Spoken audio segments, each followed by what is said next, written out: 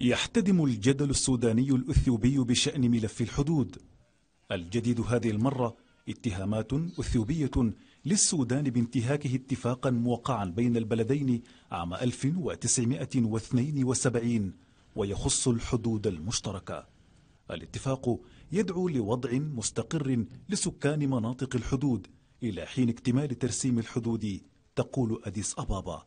أما الخرطوم فلها رؤيتها فيما يخص اتفاق 72 72 ما كانت بتتكلم عن نزاع في الحدود هي الحدود اوريدي كانت تم تخطيطها على أرض الواقع وموجودة وهي معترفة بها طيلة الفترة دي بحكم إنه ما في أي طعن يتقدمت به اثيوبيا في الفترة دي أو أو خلاف أو نزاع على الحدود. وعلى خط الأزمة تدخل قوى الحرية والتغيير تحاول الدفع برؤية جديدة في قضية الحدود. سنعلي من الجهد الدبلوماسي والاتصالات والمفاوضات معهم على أساس إنه نقنعهم بالإضافة للاتصال بالاتحاد الأفريقي اللي أبدى استعداد أصلا عشان يسهم في حل المسألة دي ويوفر التمويل اللازم. خلافات الحدود بدأت تفرض سيطرتها كخبر رئيس في صحف الخرطوم. خلافات يأمل الشارع السوداني ألا تفلت من ساحة الدبلوماسية إلى الميدان.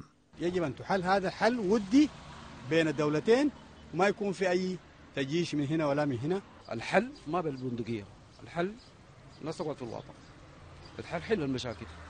الخارجية السودانية تعمل مع السفير الأثيوبي في الخرطوم على الإعداد لجولة مفاوضات جديدة جولة ينتظر منها السودان نتائج مغايرة لما خرجت به الجولة الأخيرة في الخرطوم. يرجح مراقبون أن تتخذ قضية الحدود بين السودان وأثيوبيا مسارا يتسم بما تصفه الخرطوم تصعيدا من جانب أديس أبابا.